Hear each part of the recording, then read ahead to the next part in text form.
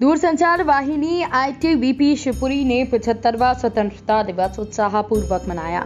सबसे पहले श्री राजीव लोचन शुक्ल उप महानिरीक्षक दूरसंचार के द्वारा शहीद स्मारक पर पुष्पांजलि अर्पित की गई। इसके बाद कार्यक्रम का शुभारंभ हुआ। सुसज्जित तरीके से यहाँ पर कार्यक्रम का शुभारंभ हुआ। इसकी कमान श्री प्रेमचंद्र सहायक सेनानी के द्वारा संभाली हुई थी। परेड की सलामी के दौरान श्री राजीव लोचन शुक्ल उप महानिरीक्षक दूर संचार के द्वारा ध्वजारोहण किया गया। इस अवसर पर राजीव लोचन शुक्ल उप महानिरीक्षक ने उपस्थित अधिकारीगण और अधीनस्थ अधिकारीगण और हिमवारों के साथ ही उनके परिवारों को पिछहत्तरवे स्वतंत्रता दिवस की बधाई दी।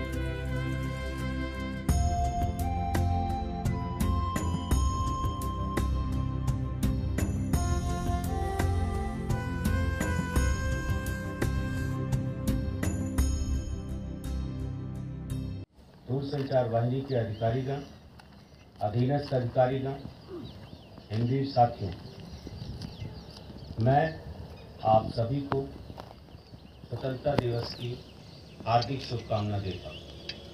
जैसा कि हम सभी को पता है, ये स्वतंत्रता हमें 15 अगस्त उन्नीस सौ सैंतालीस को हमारे लाखों स्वतंत्रता सेनानियों के बलिदान और उनके सतत संघर्ष की वजह से प्राप्त हुई।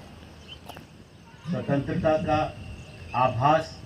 पचहत्तरवीं वर्षगांठ पे ये हमारे भारत तिब्बत सीमा पुलिस के प्रांगण में जो आयोजन हुआ, इसमें हमने जवानों, उनके परिवार और तमाम जो हमारे स्टाफ हैं सबके साथ मिल के हर्षोल्लास से मनाया। और जैसा कि आप लोग देख ही रहे हैं कि कोविड के कम होने के बाद ये पहला आयोजन यहाँ पे किया गया है। और लोगों में बहुत उत्साह है। एक तो स्वतंत्रता दिवस के उत्साह है। ऊपर से कोविड से जो बंद थे लोग घरों के अंदर, उसके लिए भी बाहर आने पे उनको बड़ा अच्छा लग रहा है। और जहाँ तक स्वतंत्रता दिवस के आयोजन की बात है, ये हर वर्ष मनाया जाता, हमारे देश का ये सबसे बड़ा पर्व है, जिसको मैं कहूँगा। और अंग्रेज़ों को, ये गुलामी को इसी दिन हम तोड़ के आज़ाद हुए थे। तो मेरा शिवपुरी वासियों और सभी से वो है कि हमेशा हमें स्वतंत्रता दिवस को बहुत उल्लास से मनाना चाहिए और उन सेनानियों के प्रति कृतज्ञता ज्ञापित करना चाहिए जिन्होंने आज ये दिन दिखाने के लिए अपना सर्वस्व देश के लिए न्यौछावर कर दिया। जय हिंद। किस तरह की प्रतियोगिताएँ होती हैं? ये प्रतियोगिताएँ ज़्यादातर फ़िज़िकल दौड़ बच्चों की दौड़ उनके फैमिलीज़ की दौड़ जस्ट इनके अंदर एक कम्पटिटिवनेस और हँसी खुशी पैदा करने के लिए ये सब किए जाते हैं। कोई सीरियस नहीं रहती है, लेकिन यह है कि फ़ंक्शन के लिए छोटी मोटी प्रतियोगिताएँ की जाती हैं।